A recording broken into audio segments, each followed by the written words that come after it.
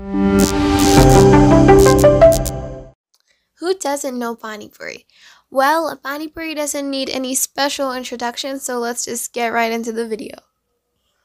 Pani Puri, Fuchka, Gupchup, or Golgappa are some of the well-known names around the world. This delicious street food and snack that originated within the Indian subcontinent is also one of the most common street foods around Pakistan, India, Nepal, and Bangladesh. Pani Puri, the name itself can describe how mouth-watering it can be.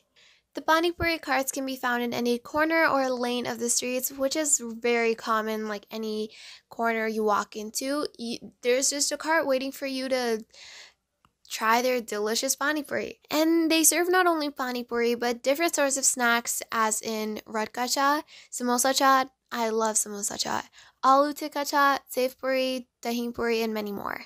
And the best part about it is it's a snack perfect of favorites for all ages. It doesn't really matter if you're a kid or an elderly, you can enjoy this roadside snack or get a parcel for home.